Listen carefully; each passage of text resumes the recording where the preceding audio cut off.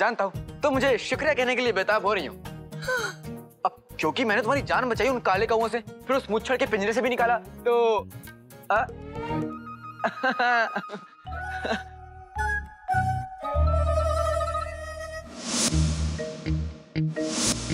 हम हवा में उड़ रहे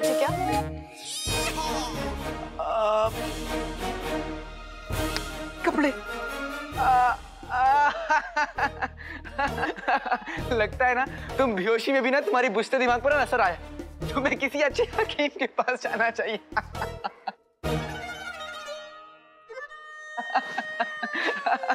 चिराग में जाने से पहले मैंने कपड़े पहने थे, फिर चिराग में। कपड़े चिराग में।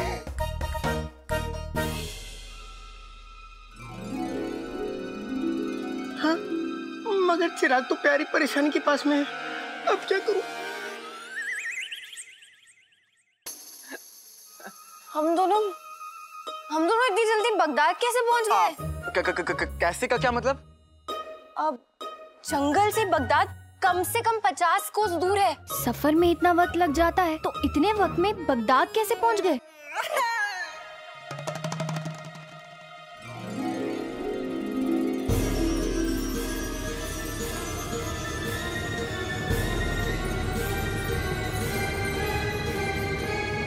हमसे कुछ छुपा रहे हो ना?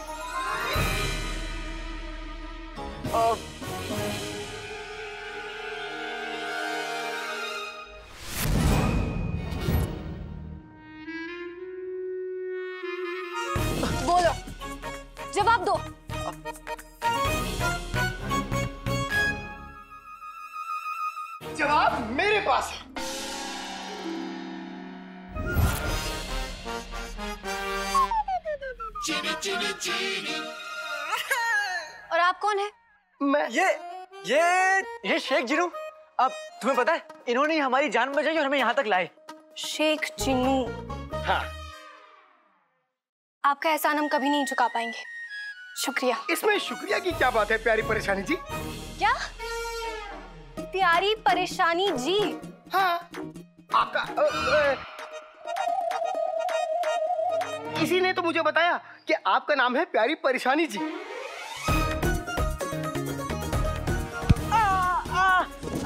आइए आई आ, क्या हुआ? हम चलते हैं। अरे रुको। ये तुम्हारा।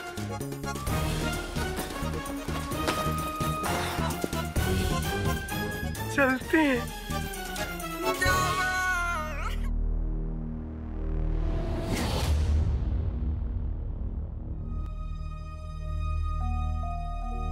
अम्मी? अम्मी? अम्मी? अलादीन? आप ठीक तो है ना?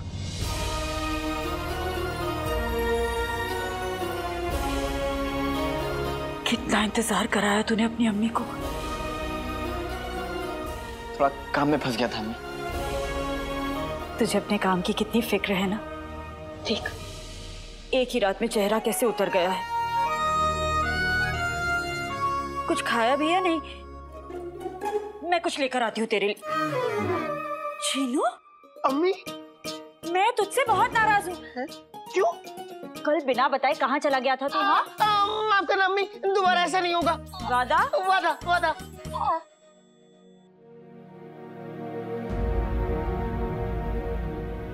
अम्मी दरवाजे का ये हाल किसने किया? कल तेरे जाने के बाद।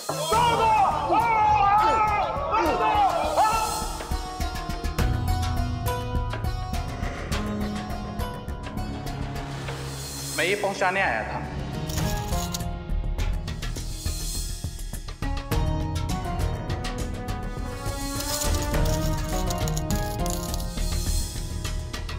मुसीबत बड़ी थी पर वो हर मुसीबत से बड़ा है। वो आदमी उसके भेजे हुए फरिश्ते से कम नहीं था। अगर आपको कुछ हो जाता तो मैं मुझे आपके साथ रहना चाहिए था। लेकिन अम्मी वो फरिश्ता कौन है? जिसने आपको शर्तियाँ दी।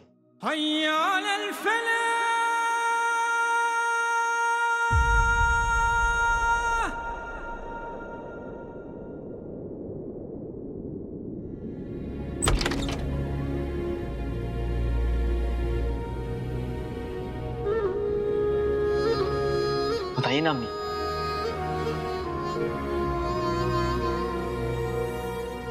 तेरे अब्बू तेरे अब्बू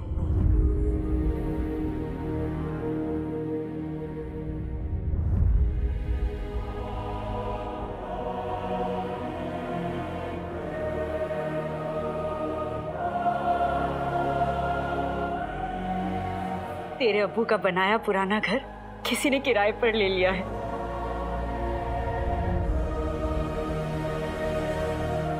घर?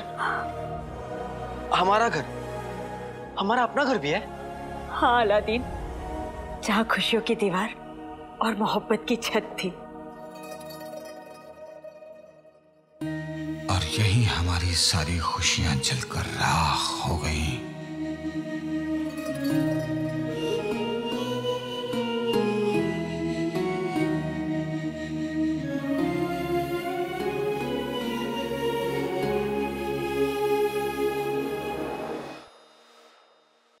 अम्मी लेकिन आपने मुझे पहले ये सब क्यों नहीं बताया?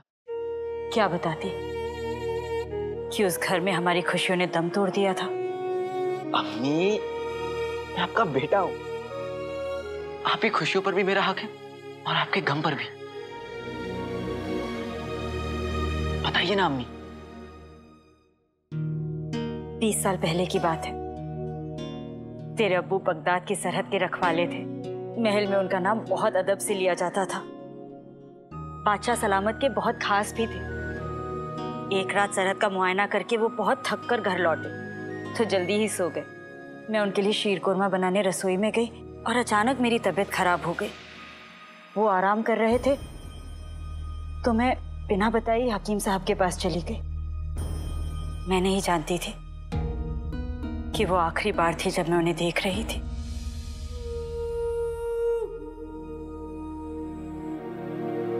हकीम साहब के पास पहुँची तो उन्होंने मुझे तेरी खुशखबरी दी। मैं जल्द से जल्द तेरे अबू के पास पहुंचकर उन्हें ये खुशखबरी देना चाहती थी। लेकिन जब तक मैं घर पहुँची, सब कुछ खत्म हो चुका था।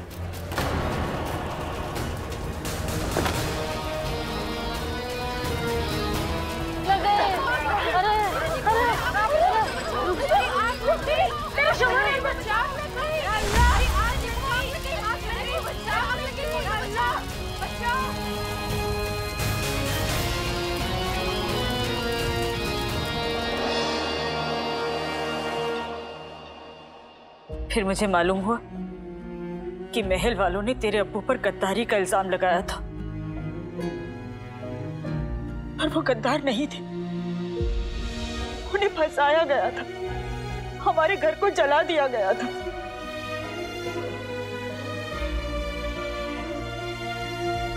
मुझे उस गुनाह की सजा दी गई जो मैंने किया ही नहीं था। इसे क्या मत लीजिए लोग अंदर कैसे बादशाह सलामत का हुक्म है कि तुम जैसे गद्दारों को फ़ौरन हिरासत में ले लिया जाए।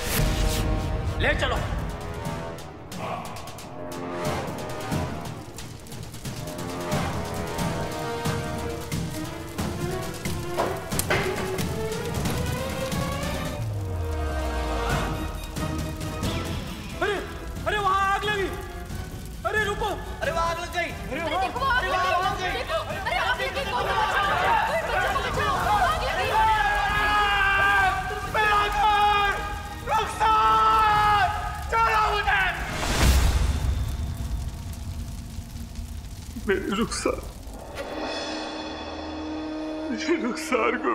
नहीं इसी घर में रुखसार चल। और मैं कुछ ना कर सका।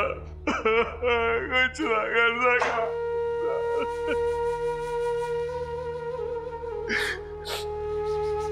मुझसे मेरा सब कुछ छिन गया।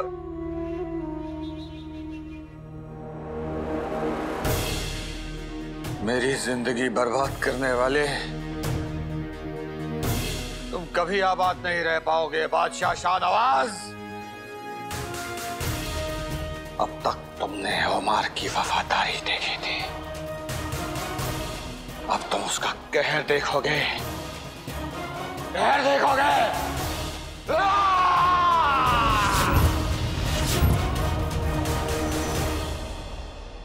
लेकिन अम्मी आपको ऐसा क्यों लगता है कि वो अभी भी ज़िंदा है?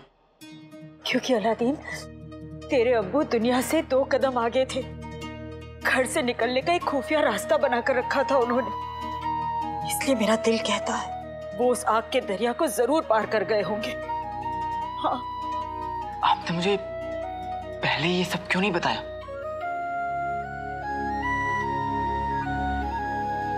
क्योंकि मैं नहीं चाहती थी कि उस आग की लपटे मेरे बेटे तक पहुँचे।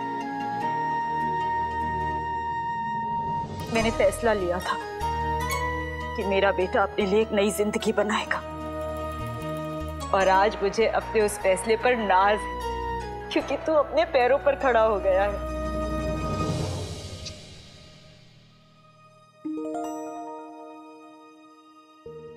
लेकिन अम्मी जब हमारा घर जल चुका है तो फिर से किराए पे कौन लेगा? वो तो पता नहीं पर ये पता है कि वो ऊपर वाले का भेजा कोई फरिश्ता ही है। अलादीन, हमें चलकर उसका शुक्रिया अदा करना चाहिए।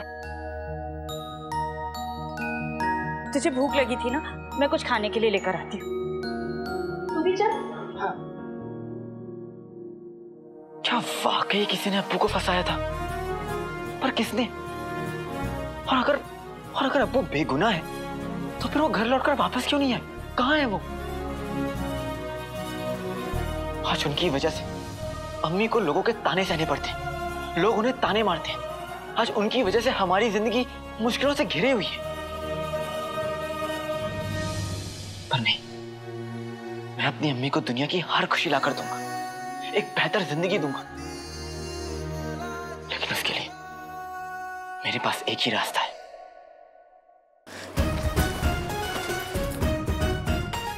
ये चिराग। आज मुझे इस चिराग को लेकर फिर से काली पहाड़ी के खंडर पर जाना होगा।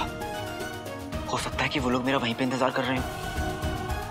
उन्हें ये चिराग दूँगा और उनसे अशरफियाँ ले लूँगा।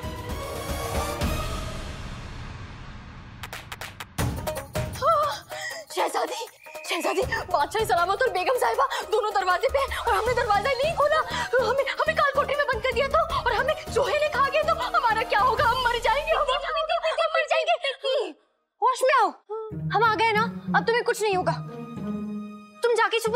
लेंगे ठीक है? हाँ कहाँ जा रही हूँ? जाओ जल्दी! देख क्या रहे हो? तोड़ दो दरवाज़ा। अब्बू हमें इस लिबास में नहीं देख सकते।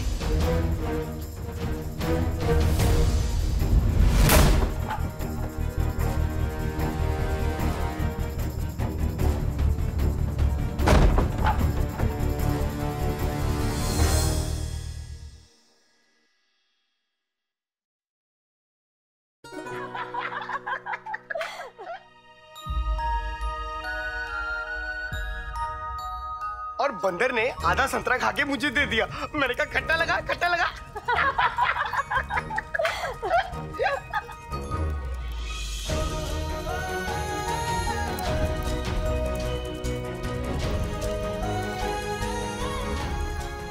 आज इतने दिन बाद जिनू की वजह से अम्मी की होठों पर हँसी आई है, पर इस हँसी को बनाए रखने के लिए तुम्हें जाना होगा जिनू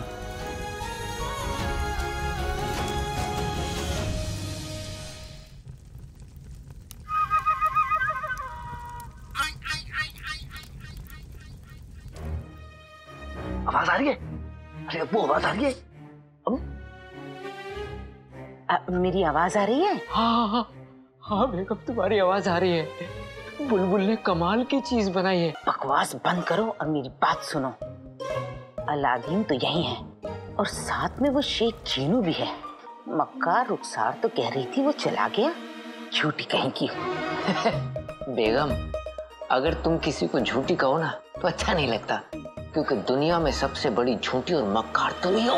अच्छा उगल लो जितनी सच्चाई निकल रही है उगल लो जब बूटी का असर कम होगा घर आना। अब ध्यान दो हाँ। अलादीन अकेला है।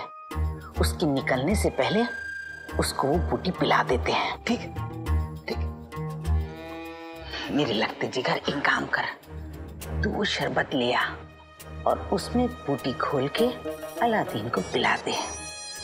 एक बार अलादीन ने वो शरबत पी लिया तो उससे ये सच्चाई आसानी से उगलवा लेंगे कि देनदारों को देने के लिए रुखसार के पास इतनी दौलत आई कहाँ से? अरे अम्मी ये तो मेरे बाएँ पैर का खेल है। अरे मेरी जिगर पैर नहीं हाथ का खेल बाएँ हाथ का खेल। हाँ हाँ वही वही मैं भी आया।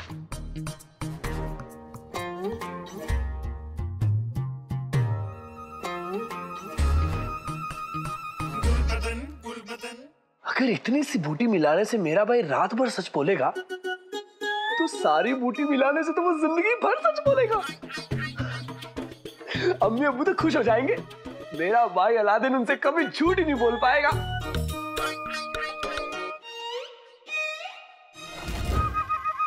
मेरा भाई अलादीन। ये मेरा भाई अलादीन कहाँ चला गया? हाँ, मैं शरबत कैसे पिलाऊँगा?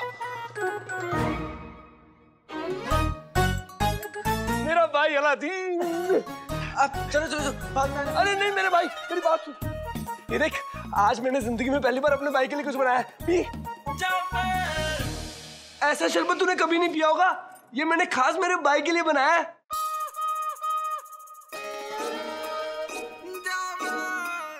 गुलबदन ने आज तक अपने लिए कभी पानी तक नहीं लिया और मेरे लिए शरबत बना के लाया है। ज़रूर कुछ गड़बड़ है। क्या सोच रहे मेरे भाई? इसे जल्दी से पी ले। गुलबदन मैं ना इसे बाद में पी लूँगा। मेरा दिल टूट जाएगा। लो अच्छा। पी ले पी ले।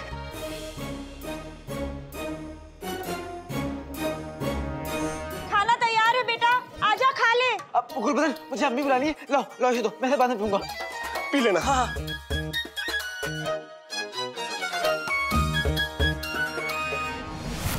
अभी भर गया लेकिन मन नहीं भरा। और अब अम्मी अपना खाना भी इस जिनू के बच्चे को दे देंगी। तो और देती हूँ। रुक। अम्मी अब इसे और खाना देने की सोचेगा ही मत। ज़्यादा खाएगा तो पेट खराब हो जाएगा। ऐसा नहीं बोलते। नज़र लग जाती है। तुम कल से दस आदमियों का खाना खा चुके हो और अब अपने हिस्से का भी खा ले। और वैसे भी चीनी ज़्यादा नहीं खाया करते। लेकिन ये मेरा हुक्म है। जो कुमा का। क्या खुसफुस कर रहे हो तुम दोनों? ये ले जीनू बेटा। नहीं नहीं अम्मी मेरा पेट भर गया। अरे अभी तो तू कह रहा था खाना है ये ले। नींद भी आ रही है उसको तो। तुम तुम एक काम करो सो जाओ जाके। हाँ हाँ। तो तू खा ले।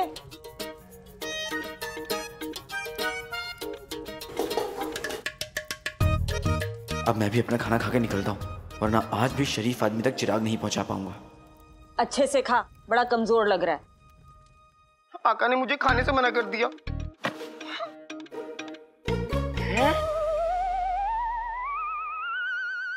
शरबत? वल्ला वल्ला हबीबी छा गई गरीबी। हम्म। अरे वाह।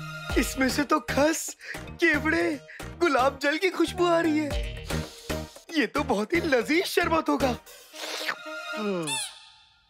मगर आका ने तो मुझे खाने से मना किया है, हैं? अब क्या करूँ हाँ! खाने से मना किया है पीने से तो नहीं शरबत तो मैं पी सकता हूँ लेकिन अगर ये शरबत आका का हुआ तो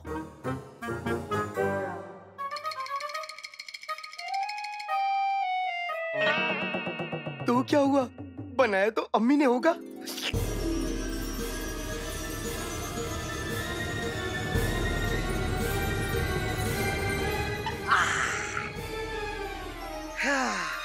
मज़ा आ गया।